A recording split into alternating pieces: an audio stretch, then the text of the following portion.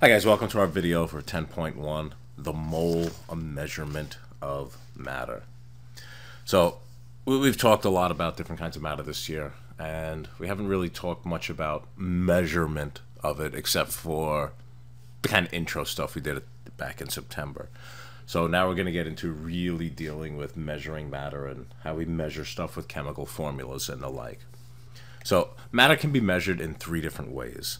Uh, one way that you can do it is by count, right?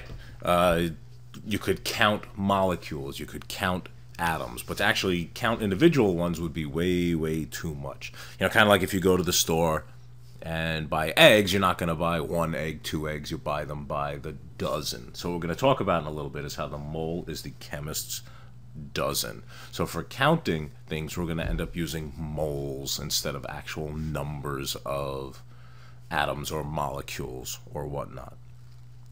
Another way that matter can be measured is the mass, and that we use grams for mass.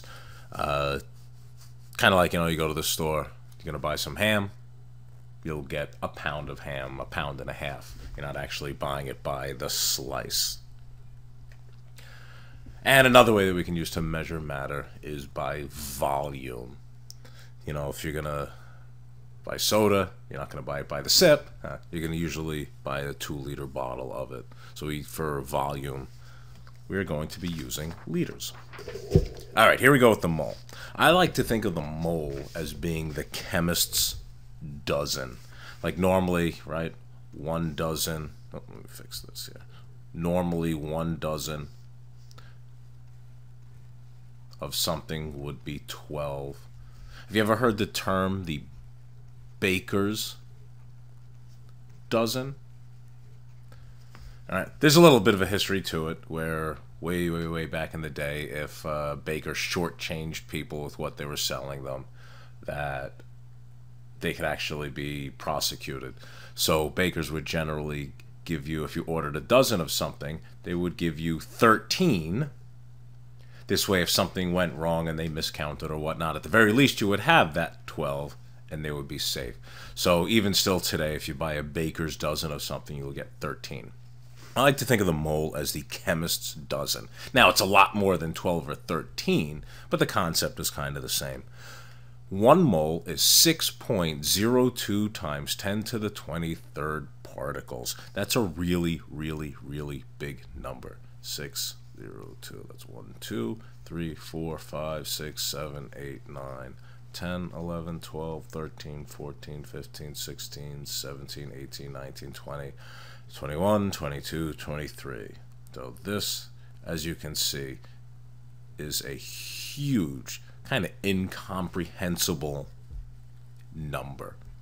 So we're going to deal with counting out little particles and doing some math with this in a bit, but for the most part, we're just going to use it as a mole. And that could be, since it's particles, it could be atoms, molecules, or compounds, right? So like a single hydrogen atom, if you had 6.02 times 10 to the 23rd of those, that will be a mole of hydrogen. For water molecules,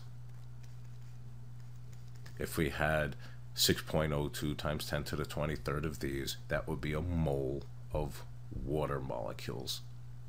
Okay, This number here is what's called Avogadro's number.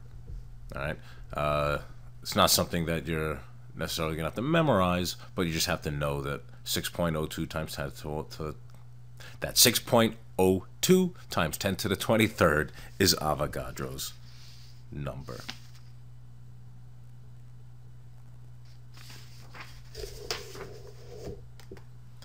Okay, so there's actual conversions to be done here.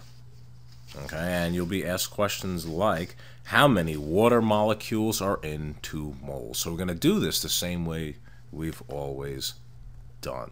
All right, so if we have 2 moles of H2O molecules, and we want to see how many molecules We do what we've always done. What you want, molecules, over what you got, moles. Okay? And the relationship is 6.02 times 10 to the 23rd molecules is equal to 1 mole. So we done we do what we've always done. Plug our numbers in 6.02 times 10 to the 23rd molecules per 1 mole.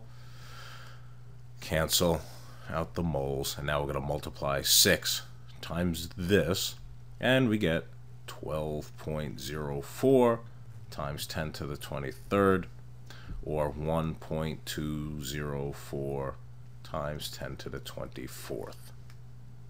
Okay? Pretty straightforward kind of stuff. If we want to go the other way, how many moles are in 1.25 times 10 to the 23rd CO2 molecules? So we want to find how many moles. And like always, you do what you want. Moles over what you got. Molecules. And we plug in. There's 6.02 times 10 to the 23rd molecules in one mole.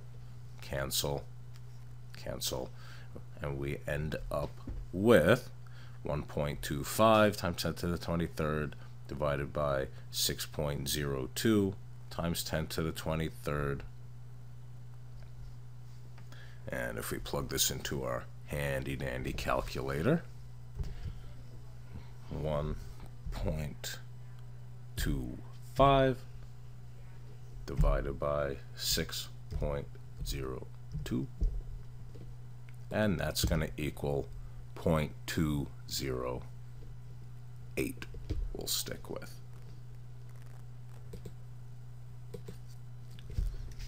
So we got 0.208.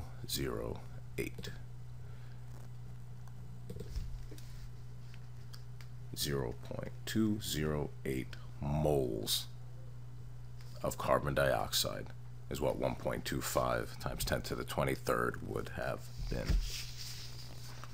Okay, finally, the mole mass relationship. And this is one of the simplest, or more complicated yet simplest things that we're going to talk about. Crucial to understand this. The atomic mass of an element expressed in grams is the mass of one mole of that element. What the heck does that mean? So if you look on our reference table, right, carbon, the mass of carbon is says 12.011 AMU. Well, it says 12.011, and that means a single carbon atom has a mass of 12.011 AMU. So a mole of carbon has a mass of 12 grams. It's a straight relationship. So since whatever something's AMU mass is, or whatever its molar mass is, one mole of that has a mass of that number in grams. So if you look on your reference table and see oxygen has a mass of 15.9994, that means one mole of oxygen atoms has a mass of 15.994 grams. If helium has a mass of 4 point something something something AMU, that means one mole of helium has a mass of 4 grams. Okay, so the atomic mass of a compound or molecule expressed in grams is the mass of one mole of that compound or molecule, just like I told you here. So let's do uh, an example. Water, right? Water is H2O. So it has two hydrogens, okay, which have a mass of 1.00794 each for a total of 2.01588 grams. Our one oxygen has a mass of 15.9994 and there's one of them so it's just 15.9994 we add them up and we're going to get our total mass of a mole of water molecules is going to equal 18.01528 grams. All right, one more. Carbon dioxide. All right, so carbon has a mass of 12.011. Oxygen has a mass of 15.9994, both in grams. However, there's two oxygens, so we're going to multiply that by 2, and we get 31.9988.